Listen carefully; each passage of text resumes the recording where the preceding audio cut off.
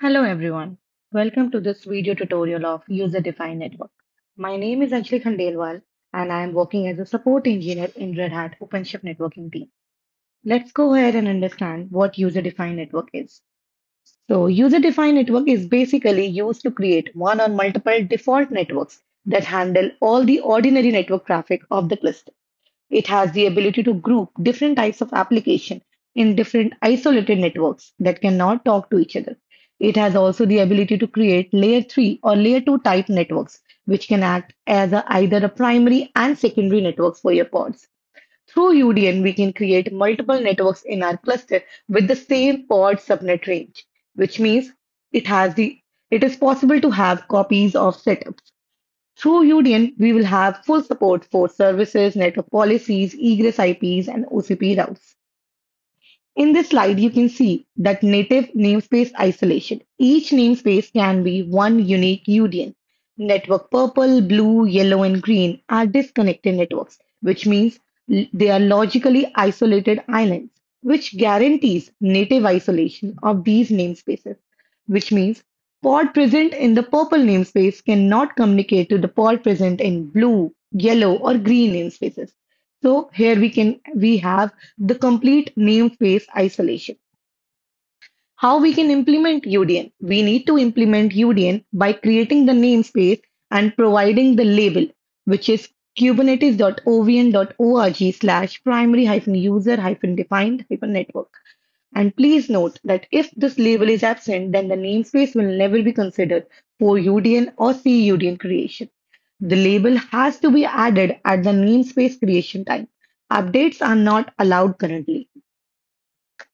For creating UDN, we need to create a CRD in which we need to provide the name of the UDN, the namespace for which we need to create the UDN, and the topology, whether it is layer 2 or layer 3. Layer 2 is for the switches and layer 3 is for the routers. And we, we need to provide the role, which is primary or secondary. And we have to provide the subnet range from which the pods will be getting the IP address.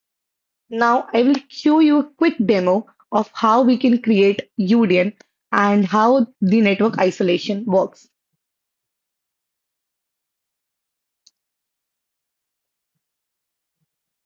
So in this slide, you can see that I have created one namespace and already provided the label for the UDN. I have created the namespace named yellow and I have created the UDN configuration where I have already provided the name, namespace, topology, role, and the subnet range.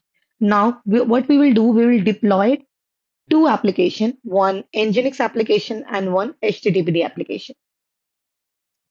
And we will try whether these two pods will be able to communicate with each other via UDN IP address. Now here is the twist. Then when we run oc ocget pods hyphen oit, the IP address we are currently seeing is are the IP address assigned from the cluster network CIDR range. But they are not used for the primary pod pod network. The primary interface for the pods currently is OVN-UDN1 and the IP address is 10.10.0.4. We will try curl this application from the other pod via uh, the pod IP and it is getting no route to host. But when we run, when we curl the UDN assigned IP, we are getting the expected outputs.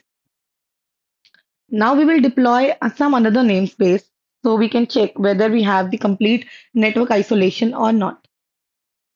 We have I have deployed the namespace named green and an application inside it named HTTPD. Now we will try to curl the application from the pod running in the yellow namespace.